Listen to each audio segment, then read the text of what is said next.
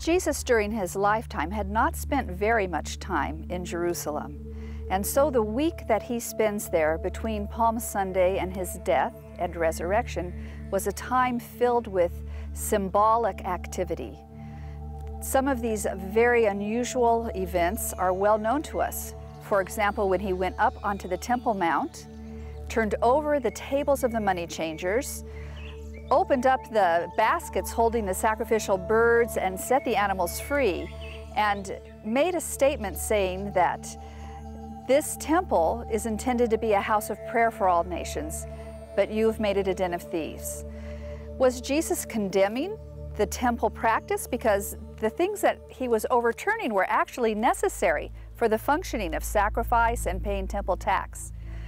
Probably not, but probably what he was striking at was a prophetic moment in which he was calling the Jewish people of his day to once again return to the heart of the Torah, which is not simply about fulfilling ritual, but about loving God with all your heart and loving your neighbor as yourself. During the last week of Jesus' life,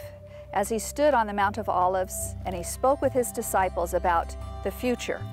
about their future, they would be scattered and abandon him,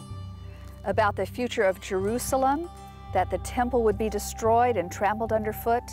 and about the long term future, the eschatological hope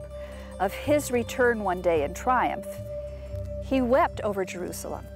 because he knew that within his generation, people that he that were his contemporaries would suffer and die. He knew that his message would be misunderstood,